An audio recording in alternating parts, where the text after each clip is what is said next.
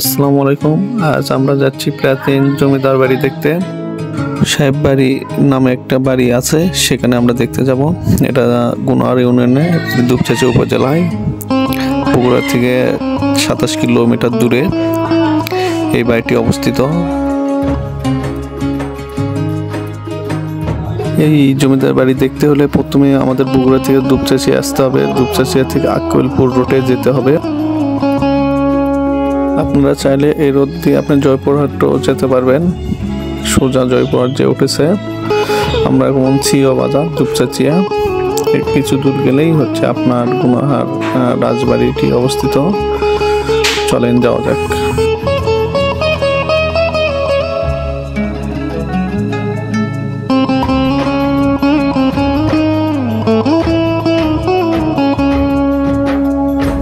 সামনে যে রাস্তাটা দেখতে পাচ্ছেন হাতের বামে, এটাই হচ্ছে গুনাহারের রাস্তা। এই দিক দিয়ে সোজা আমরা জমিদার বাড়িতে যাব। আর সামনে আছে জিয়ানগর অত দূর যাওয়া লাগবে না, তার আগে আপনি মোড়টা পায়ে যাবেন।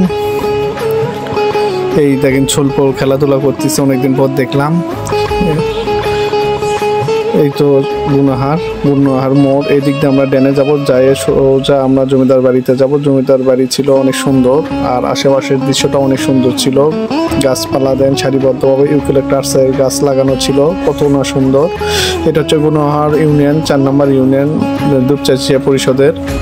খুব সুন্দর একটা এলাকা।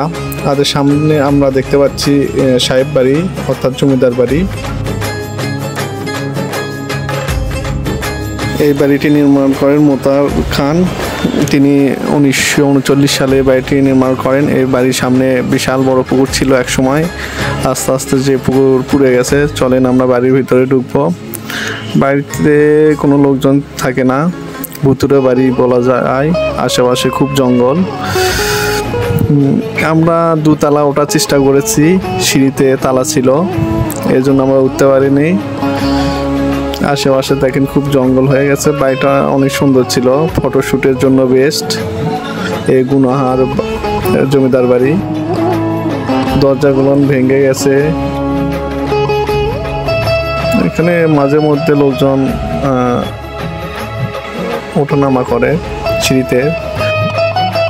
এটা হচ্ছে দোতলা ওঠা সিঁড়ি। এদিক দিয়ে দোতলা ওঠে। দেখেন এটা পিছনের অংশ। কি জর্জীর্ণ হয়ে গেছে। এই পুরাতন বাড়িটি। বাড়িটি মূলত যুদ্ধের অনেক আগে হয়েছে। এটা বিস্তারিত তথ্য সঠিকভাবে জানা যায়নি। এটা হচ্ছে পুরাতন জমিদার বাড়ির সাইডে পুকুর। এটা একসময় বিশাল বড় ছিল, এখন ছোট হয়ে গেছে। এটা সামনের অংশ, সাহেব বাড়ির নাম।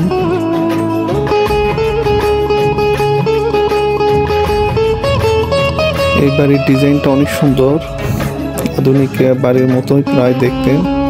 এখানে ছবি তোলার জন্য অনেক সুন্দর জায়গা, অনেক সুন্দর প্লেস আপনারা চাইলে এখানে এসে ছবি তুলতে পারবেন রূপচাচি উপজেলাতে এসে।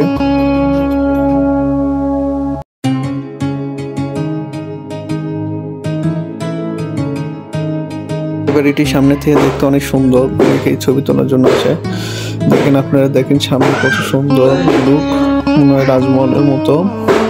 এটা হচ্ছে ভিতরের অংশ। এইগুলো লোক অনেক বসবাস করতো এখন জঙ্গল হয়ে গেছে। পিছনে একটা পুকুর ছিল। এটা অনেক পরে খোঁড়া হয়েছে। এটা মসজিদের পুকুর বলা হয়। এখানে মসজিদের নামাজিরা এখানে এসে উজু করে নামাজ পড়তে যায়।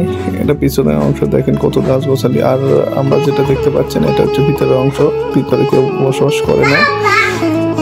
দরজাগুলো ভেঙে টেঙে চুরমার হয়ে গেছে। পারলে আপনারা যায়। গুনাহার এই জমিদার বাড়ি আপনি দেখে আসতে পারবেন। আমার ভিডিও ভালো লাগলে লাইক দিন।